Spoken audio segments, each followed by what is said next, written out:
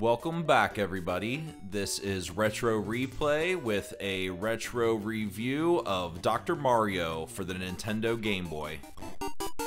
Dr. Mario was released in North America on October 1st, 1990. The game was produced by Gunpei Yokoi, the creator of the Nintendo Game Boy and the Game & Watch series. It was designed by Takahiro Harada, who also was the developer on the Metroid series, and the music was composed by Hirokazu Tanaka, who also wrote the music for Super Mario Land and Metroid, among many other classics. This was an absolute dream team of developers from Nintendo. Dr. Mario is a fairly simple falling block puzzle game, and the objective of the game is to just simply destroy the viruses that are populating the game screen. This is done by using colored vitamin capsules that are tossed into the field by Dr. Mario himself. And as the player, your job is to turn the capsules as they fall and align similar colors in a row or column of four, which causes the virus to explode and disappear from the playfield.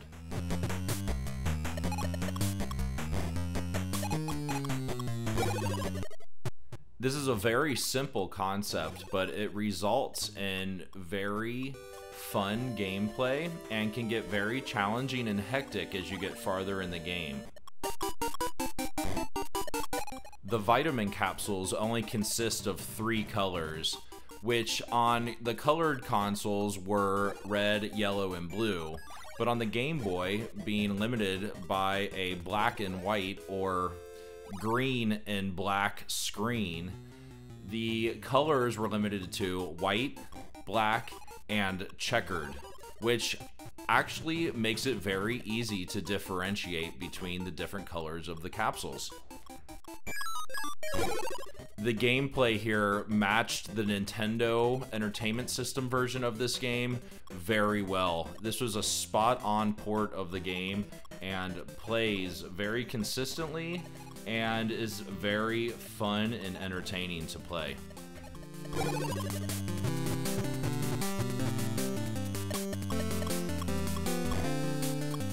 As stated in some of my other Game Boy reviews, this game stays fresh because not only is it very simple, it is different every time you play. So the challenge is always changing and gives you a new challenge every time you pick up the Game Boy to play it.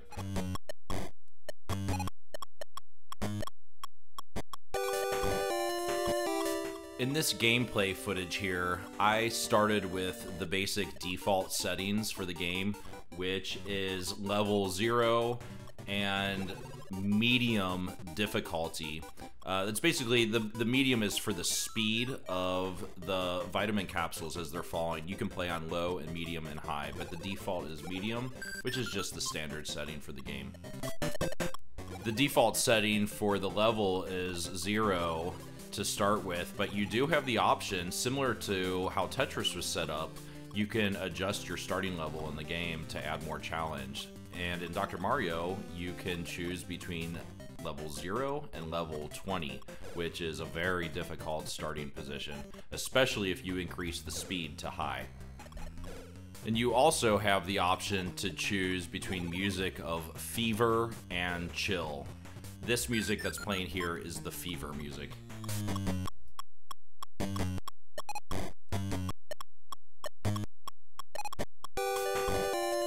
I do have to admit that I didn't really play this game as a kid. I was definitely a Tetris fanboy. I really didn't get to play Dr. Mario. I didn't own it on Game Boy. I didn't have an NES growing up. I had friends who did, but none of them had Dr. Mario for whatever reason. So I didn't really get to play this game much as a kid. It really wasn't until I was in college that I ran into some other guys that I became friends with that were obsessed with this game. and there were many late hours spent playing versus mode against each other in the NES version of this game. And that's what really drew me to the game, and they taught me how to play and taught me some of the strategy. I don't claim to be good or anything, but I know how to play the game. And that's where I really started to enjoy the game and really fall in love with it. It is a very good puzzle game.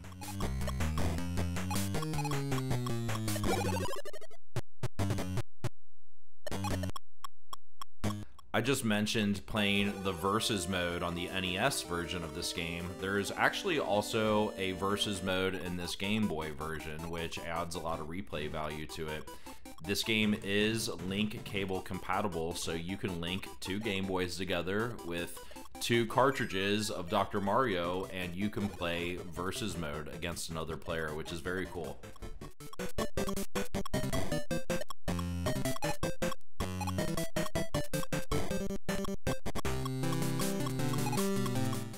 In this gameplay footage here, I am skipping forward some levels just to show you some later portions of the game.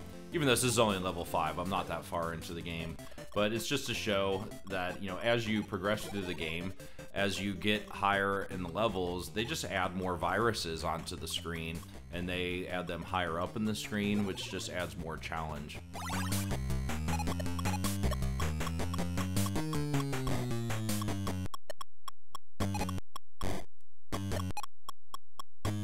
I did make some mistakes here on level 5 trying to clear out these last couple viruses.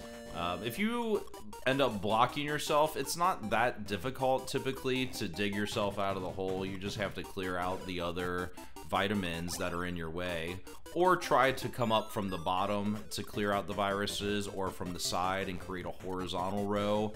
Uh, there's different strategies that you can use to try to clear these out, but I did make some mistakes here trying to get rid of them, and it took me a little bit.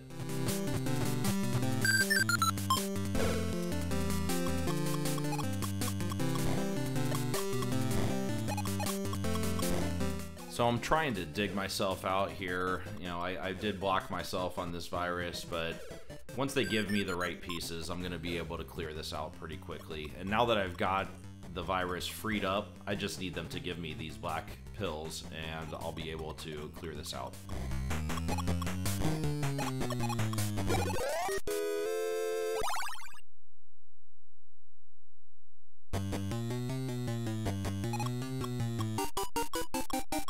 This level 6 ends up being my final level that I, well, I don't complete it. I end up getting a game over on this level. I make some bad mistakes with some of these higher up viruses early on in the level, and it just sets me up for failure.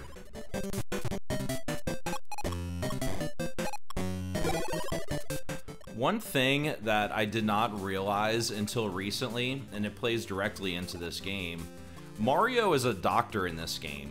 In Super Mario Brothers, he's a plumber. I always thought that the Mario Brothers and Mario himself was a plumber. Uh, but I later learned that that's not true, and it actually depends on what game he's in, which makes sense. In Donkey Kong, Mario is a carpenter. In Mario Brothers, he's a plumber. In Dr. Mario, he's a doctor. In Punch Out, he was a referee. So Mario actually changed his professions throughout many different Nintendo games. And again, I didn't learn this till maybe about six months ago, and it was mind blowing to me. I had never considered that.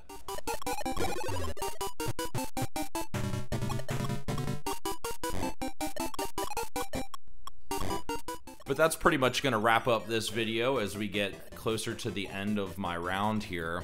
Um, I highly recommend this game. This is a, a, Nintendo classic, and like I said, this was developed and produced by some of the most genius people at Nintendo. The only person that wasn't involved was Miyamoto, but I'm sure he had some input somewhere on this. But this was an absolute dream team of developers and producers on this game, and they created a gem. It is absolutely fantastic to this day.